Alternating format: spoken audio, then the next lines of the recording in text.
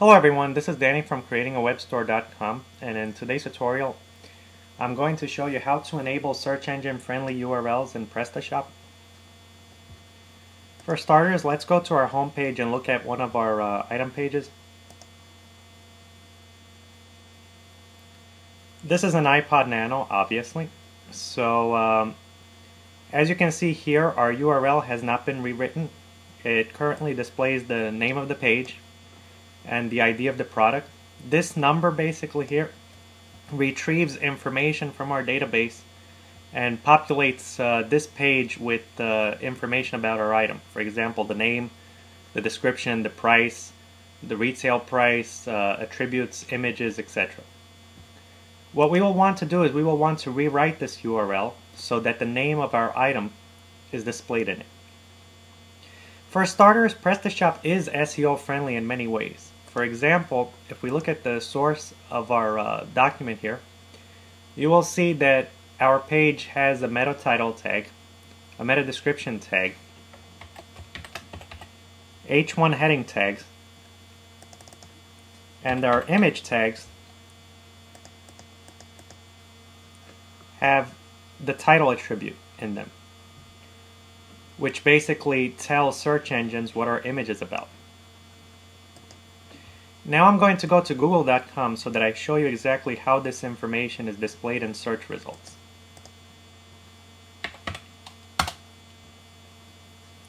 So I'm going to type in iPod Nano and as you can see here the first result is from Apple. This name right here Google actually uses the meta title tag to populate that information. The description, in most cases, it uses the meta description tag. If uh, a website doesn't have a meta description tag, Google does search the page and try to find appropriate information to display in its search results. But by adding the meta description tag, you're actually telling Google exactly what information you want displayed in its search results. In images, you will see images of iPod Nanos. Google basically uses that title attribute from the image tag to display this information. Now we're going to click on this result so that I can show you exactly how this information uh, matches the meta tags on the page. As you can see, Apple uses a lot of images, text, etc. Therefore, it might be difficult for Google to understand exactly which information to display in its search results.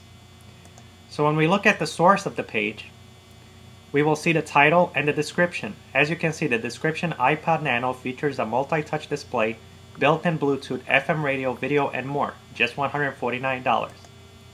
When we go back to the results page, you will notice that that information is displayed in these results, in this particular result. Now this URL here, if you notice, it has the iPod Nano in the path field. This is basically what we want to do. We want this URL to change and we want it to display this information right here. So what we do is we go into our PrestaShop admin panel. We hover over preferences and we click on SEO and URLs. Further down on the page where it says set up URLs, we're going to hit the radio button yes. Now notice further down, it says automatically redirect to canonical URL. We want to enable this. But for the demonstration purposes, I'm going to leave this as no, so that I can show you exactly what happens when we keep this disabled. So I'm going to save. You're going to want to keep watching.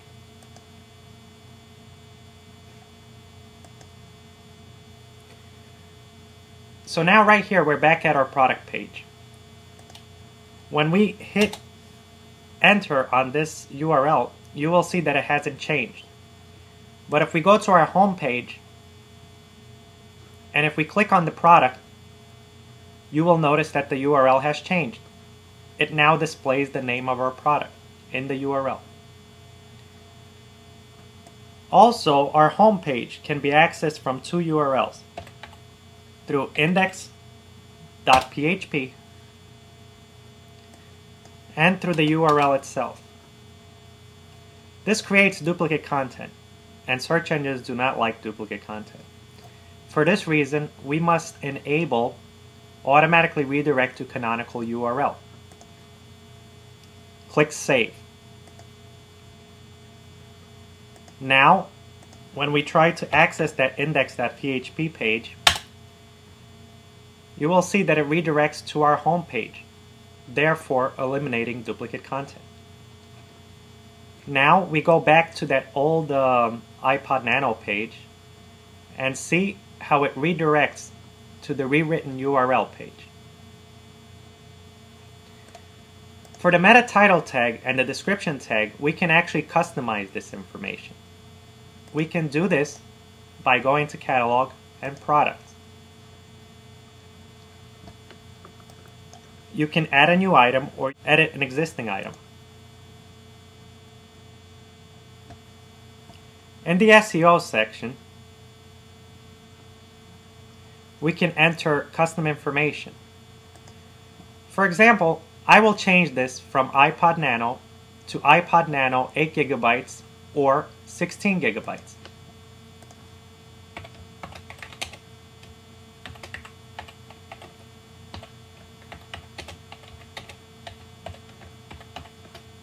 For the description tag, I'm going to enter in um, some other information.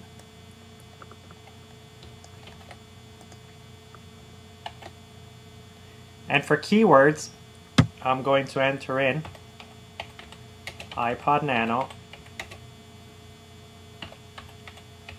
iPod 8 gigabytes, iPod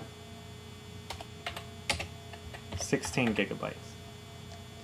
And for the friendly URL, I'm going to change it from iPod Nano to iPod Nano 8 gigabytes or 16 gigabyte.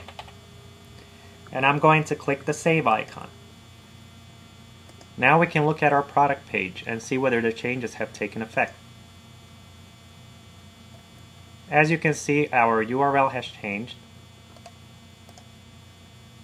The title tag has changed and the description has changed as well. And now we also have a keywords meta tag, which displays information that we entered in the keyword meta tag uh, field. Of course, we can also make changes to our categories.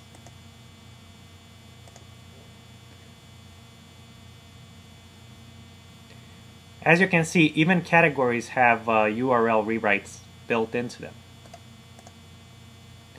They also have a title tag and a description tag. Here you will notice that we do not have a keywords tag, but we can enter in that information as well. So let's go back to our admin panel, hover over catalog and click on categories. Now we will edit the accessories category.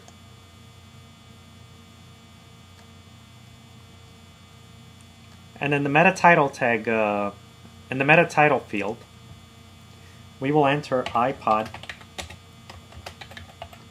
accessories. In the description, we will write stuff for your iPod. And for keywords, pod charger, remember to hit enter. Pod headphones.